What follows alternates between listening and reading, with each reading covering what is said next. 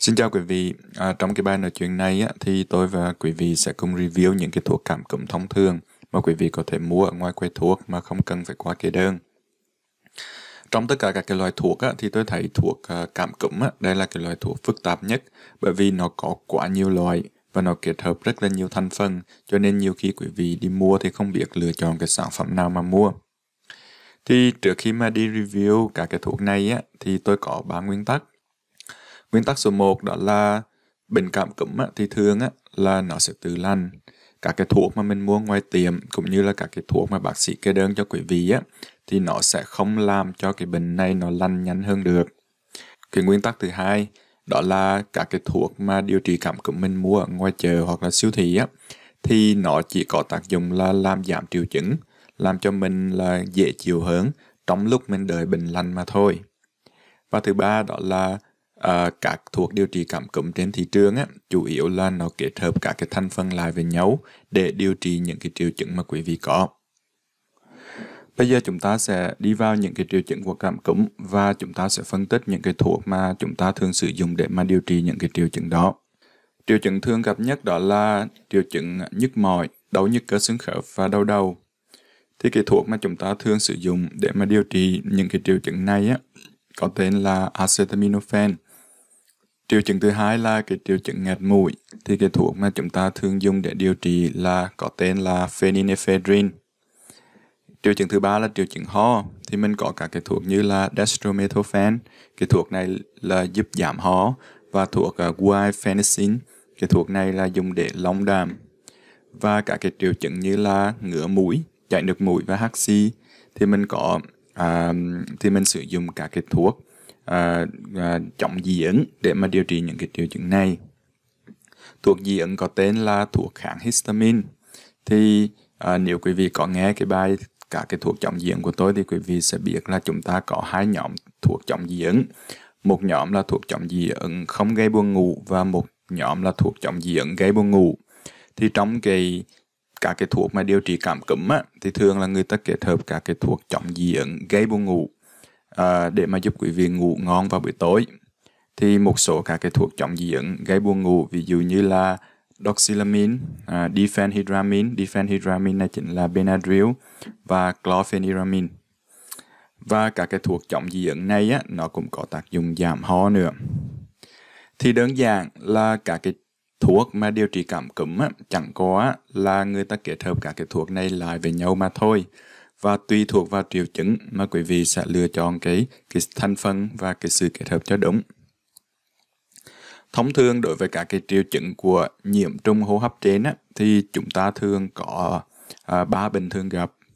Thứ nhất là cái bệnh cảm cúm thì các cái triệu chứng thì bao gồm tất cả những cái triệu, triệu chứng như mà như tôi kể ở trên. Thứ hai á, là triệu chứng viêm xoang mũi thì thường là quý vị chỉ có hai triệu chứng thôi đó là triệu chứng à, đau đầu, đau xoang và triệu chứng nghẹt mũi. Và thứ ba là cái bệnh viêm phế quản tức là nó xuống phía dưới chút xíu. Thì thường là quý vị chỉ biểu hiện triệu chứng đó là ho và khạc đàm mà thôi. Thì trong bài này tôi sẽ hướng dẫn cho quý vị lựa chọn cái sản phẩm phù hợp à, tùy thuộc vào cái bệnh mà quý vị bị.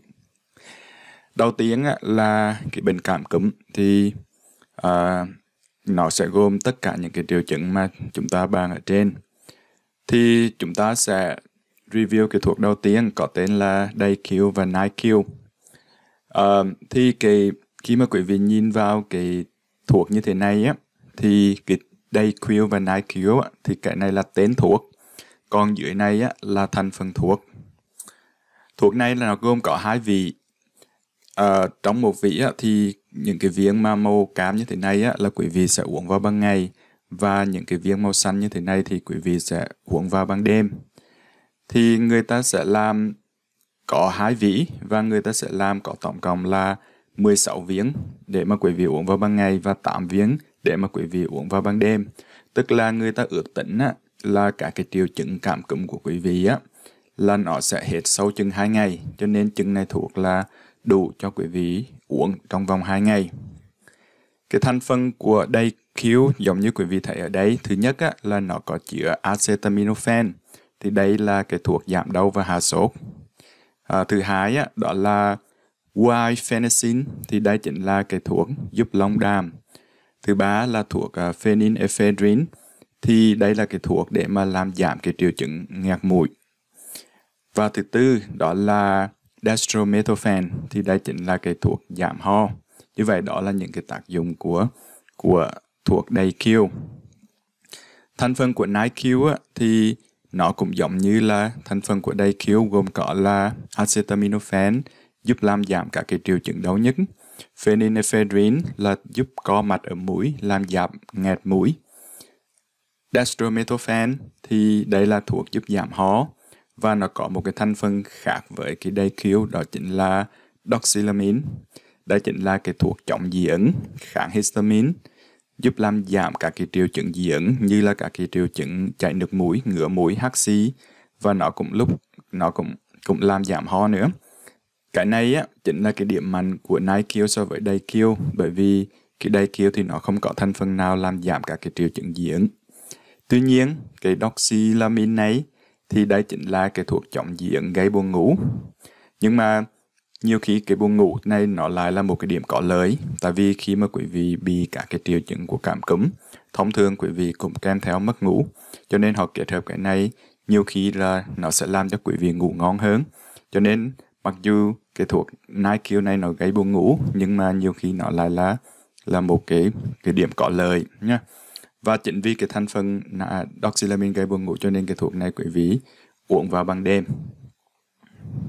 cái cách uống của đây cứu là quý vị uống một lần là là hai viên và uống mỗi 4 giờ khi cần. Và người ta khuyên là quý vị không uống quá 8 viên một ngày. Còn NiQ thì quý vị cũng uống tương tự, tức là quý vị sẽ uống hai viên mỗi 4 giờ. Nhưng mà thông thường thì khi mà quý vị uống hai viên xong thì quý vị ngủ mất tiêu. Cho nên quý vị không cần phải uống thêm hai cái viên này nữa. Nhưng mà nếu quý vị có thức giấc nửa đêm thì quý vị có thể uống thêm hai viên nữa. À, tức là mỗi 4 giờ. Đây khiếu và nái khiếu á, thì người ta cũng làm cái dạng dung dịch đóng chai. Thì thay vì uống viên thuốc thì quý vị sẽ chế ra cái nắp á, và uống theo cái nắp. Thì họ khuyên là quý vị uống 30ml mỗi 4 giờ khi cần. Thì có họ sẽ có cái hướng dẫn trong chai thuốc. À, cái hộp đầy Q và NiQ à, ờ, gồm có 16 viên uống ban ngày 8 viên uống ban đêm này thì người ta bán giá khoảng 9 đô la. Walmart á, thì người ta có cái hãng thuốc Equay hãng này là chuyên sản xuất những cái sản phẩm thịnh hành trên thị trường. Thì người ta cũng có cái sản phẩm tương tự như DayQ và NiQ và người ta bán với giá là chỉ có 3 đô la thôi. Và cách sử dụng cũng giống như DayQ và NiQ uh, ờ, đây là sản phẩm TerraFlu của cái hãng GSK thì người ta cũng áp dụng cùng một cái nguyên tắc như vậy. À, có thuốc uống ban ngày thì thành phần của nó là chứa acetaminophen để giảm đau và hạ sốt. Dextromethorphan thì đây chính là thuốc giảm ho và phenylephrine thì đây chính là thuốc gây co mạch làm uh, giảm nghẹt mũi. Còn thuốc ban đêm á, thì có chứa acetaminophen để giảm đau và hạ sốt. Diphenhydramine đây chính là Benadryl để mà giảm các cái triệu chứng dị ứng gồm có ngứa mũi hắt xí và cũng giảm ho nữa và phenylephrine để mà chống nghẹt mũi. Và chính cái diphenhydramine này nó gây buồn ngủ cho nên thuốc này được sử dụng vào ban đêm. Cái Theraplu á, thì nó khác với DQ, NiQ ở chỗ là người ta chế ra nó với nhiều hương vị khác nhau cho nên quý vị à, rất là dễ uống. Nhưng mà nó cũng cùng một cái nguyên tắc như vậy. Và khi mà quý vị đi mua thuốc á, nếu như mà họ để sẵn hai chai một hộp hai chai như thế này, thì có nghĩa là một chai dùng ban ngày và một chai dùng ban đêm. Nhưng mà nếu như quý vị chỉ muốn mua một chai, thì quý vị sẽ phải biết cách để mà phân biệt cái chai đó là uống ban ngày hay là uống ban đêm. Ví dụ như nhìn vào hai chai này, thì quý vị thấy là cái hộp bên này người ta còn không có ghi gì cả, nhưng hộp bên này người ta có ghi là night time. Night time có nghĩa là dùng vào ban đêm, cho nên cái chai này sẽ là cái chai dùng vào ban đêm cái chai bên này thì là chai dùng vào ban ngày. Cái hàng Equate của Walmart thì người ta cũng sản xuất cái sản phẩm tương tự với hương vị trái cây để cho quý vị dễ uống và giá của nó cũng rẻ hơn rất là nhiều. Và quý vị để ý đấy là có cái chữ nighttime tức là cái sản phẩm này là dùng dùng cho ban đêm. Nếu như mà quý vị không không muốn nhìn vào cái này thì quý vị có thể nhìn vào cả cái thành phần. Thì trong thành phần của nó là có chứa acetaminophen giảm đau hạ sốt.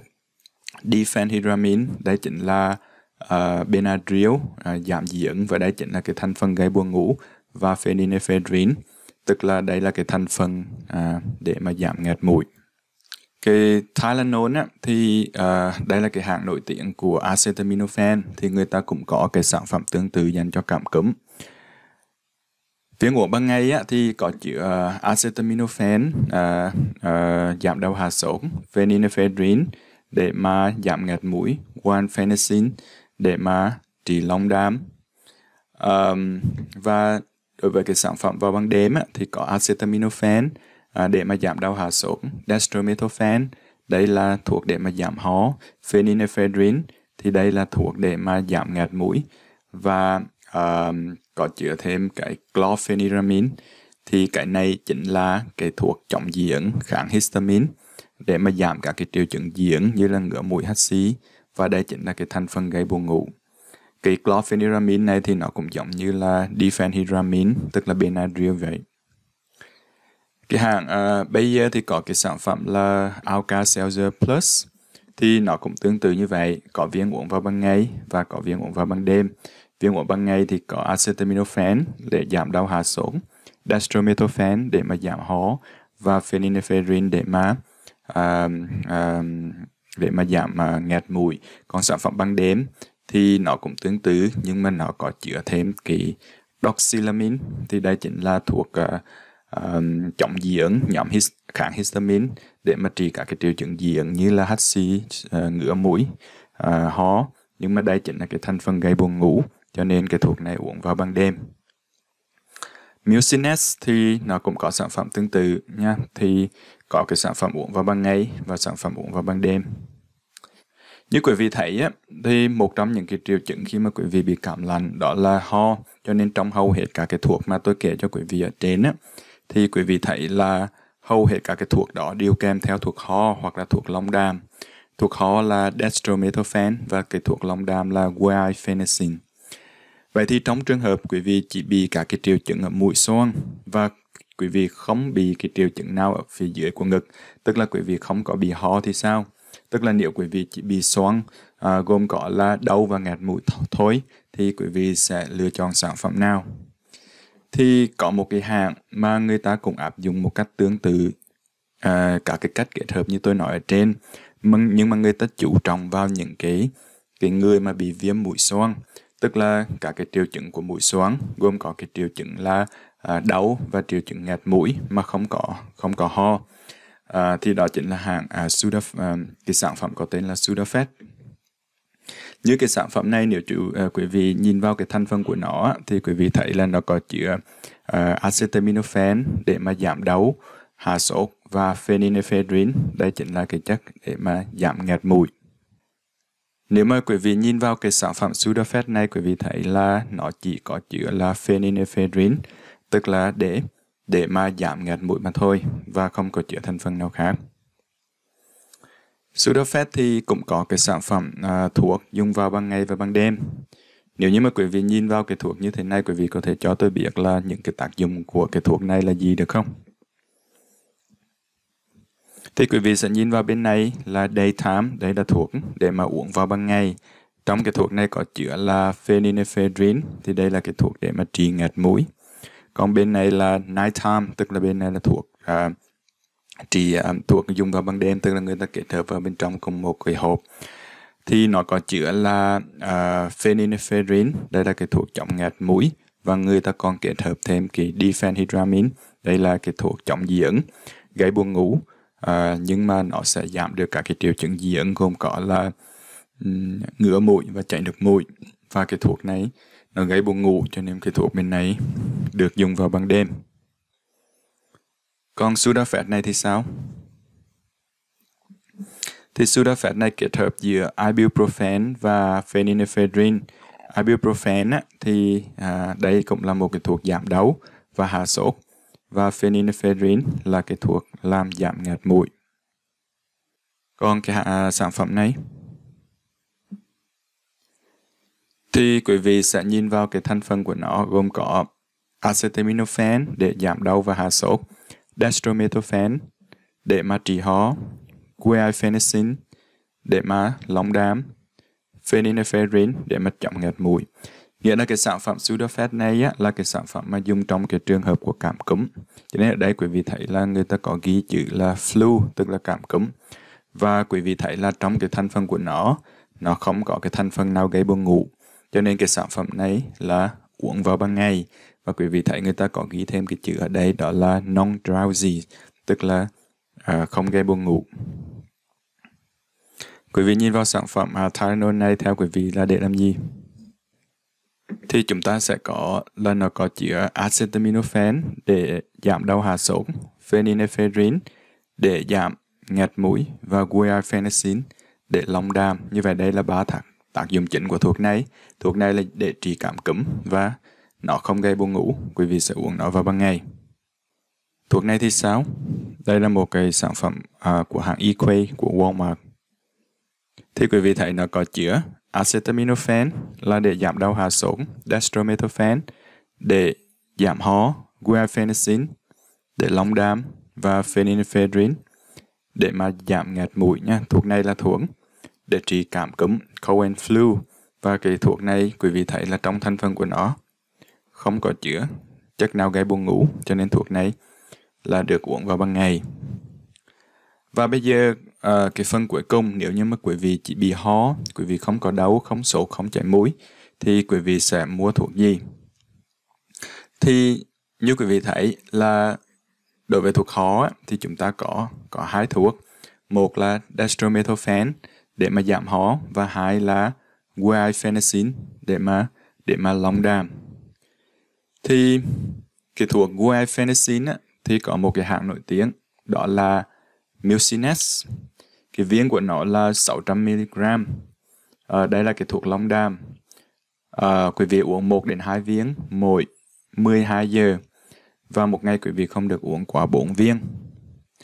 Thuốc này nó cũng chứa hàm lượng, thuốc này cũng có cái sản phẩm với hàm lượng là 1200mg Và thuốc này nếu mà cái hàm lượng là 1200mg thì quý vị uống một viên mỗi 12 giờ và một ngày thì không được uống quá hai viên. Nếu mà thuốc này nó đắt quá thì quý vị mua cái sản phẩm của Equay của Walmart. Thì nó rẻ hơn rất là nhiều lần và quý vị tìm cái chữ là guaifenesin tức là thuốc long đàm. Aspatorin là tên tiếng Anh chữ tiếng Anh của của thuốc long đàm. Và nó cũng có sản phẩm uh, 600mg và 1200mg người ta cũng có cái sản phẩm gọi là Mucinet mà có thêm cái chữ DM DM này á, là việc tắt của dextromethorphan, tức là à, uh, mucinet tức là guaifenesin là thuộc long đám và DM là dextromethorphan là thuộc giảm ho, tức là cái sản phẩm mucinet DM này là kết hợp giữa 600mg guaifenesin để long đám và 30mg dextromethorphan để mà giảm ho nha. Đây là cái thuốc kết hợp giữa long đám và giảm ho. Quý vị sẽ uống 1 đến 2 viên mỗi 12 giờ và không quá 4 viên mỗi 24 giờ, tương tự như như sản phẩm Mucinet thông thường. Thì cũng có Mucinet à, uh, DM với hàm lượng là 1.200mg guaifenesin và 60mg dextromethorphan. Nếu như mà quý vị uh, uh, mua cái sản phẩm này thì quý vị sẽ uống một viên mỗi 12 giờ và ngày uống thì không quá hai viên mỗi 24 giờ. Thì thuốc này quý vị nhìn thấy là giá của nó khá là đắt cho nên quý vị có thể tìm cái sản phẩm của Walmart nha, Equay à, với cái à, thành phần tương tự nhưng mà giá nó rẻ hơn rất là nhiều. Thì quý vị tìm cái chữ là guaifenesin và dextromethorphan và thường là trong cái thành cái tên của nó có cái chữ DM tức là dextromethorphan. Dextromethorphan đựng một mình á, tức là giảm ho đơn thuần á, tức là gọi là nếu mà quý vị uh, không cần long đàm mà quý vị chỉ cần giảm ho không á thì có cái hãng uh, nổi tiếng cái sản phẩm nổi tiếng là Delsim Equay của Walmart thì người ta cũng sản xuất ra một cái sản phẩm tương tự. Và người ta sẽ bao chế hai cái thuốc này dưới dạng là siro ho và mỗi cứ 5ml á, thì có chứa chừng khoảng là 30mg dextromethorphan. Và người ta khuyên là quý vị uống chừng khoảng à, 5 cho tới 10ml mỗi 12 giờ. Và quý vị không được uống quá 20ml mỗi 24 giờ. Thì trong cái chai thuốc á, là có cái cái cái để cho quý vị đóng đóng đếm cho nên quý vị khỏi phải lo. Nói chung nó khá là phức tạp. Thì lời khuyên của tôi dành cho những cái người bị cảm cúm đó là nếu như mà quý vị bị cảm cúm á, thì quý vị có thể đến bác sĩ để xin thuốc. Nhưng mà mấy thuốc bác sĩ kê cho quý vị á thì nó cũng không khác gì những cái thuốc mà uh, quý vị có thể mua không thông qua cái đơn ở quầy thuốc cho nên nếu như mà quý vị không có thời gian để mà đến cái phòng khám của bác sĩ thì quý vị cũng có thể ra quay thuốc để mà mua những cái cái thuốc này để mà về uống thì đối với tôi á, thì những cái loại thuốc mà tôi kể trên cho quý vị á, về thành phần á, thì nó có thể khác nhau chút ít. Nhưng mà về nguyên tắc á, thì nó cũng chẳng khác gì nhiều. Cho nên quý vị mua thuốc nào cũng được, nhưng không có gì khác biệt. Và thứ ba đó là thông thường á, thì những cái bệnh cảm cúm như thế này á, thì thường là khoảng sau 2 ngày á, là nó sẽ khỏi và giảm nhiều. Nếu như mà quý vị uh, uống những cái thuốc này mà sau 2 ngày mà không thấy đỡ thì quý vị sẽ phải đến bác sĩ để khám. Bởi vì trong có rất là nhiều các cái bệnh lý nó có cái triệu chứng giống như là cái triệu chứng của cảm cúm nhưng mà nó không phải là cảm cúm đặc biệt là giống như là cái bệnh viêm phổi chẳng hạn thì trong trường hợp này quý vị sẽ phải cần đến thuốc kháng sinh và có một số các cái triệu chứng mà nó có biểu hiện là uh, triệu chứng nặng bên dưới thì quý vị nếu như mà có một trong những cái triệu chứng này á thì quý vị sẽ phải đến phòng khám của bác sĩ hoặc là đến phòng cấp cứu ngay lập tức đó là những cái triệu chứng như là khó thở, lơ mơ, sốt cao hoặc là tụt oxy. Và à, lời khuyên cuối cùng đó là quý vị chú ý thành phần thuốc mỗi khi mà đi mua thuốc. Thì à, à, hy vọng bài nói chuyện nó giúp đỡ quý vị một phần nào. À, kính chúc quý vị sức khỏe.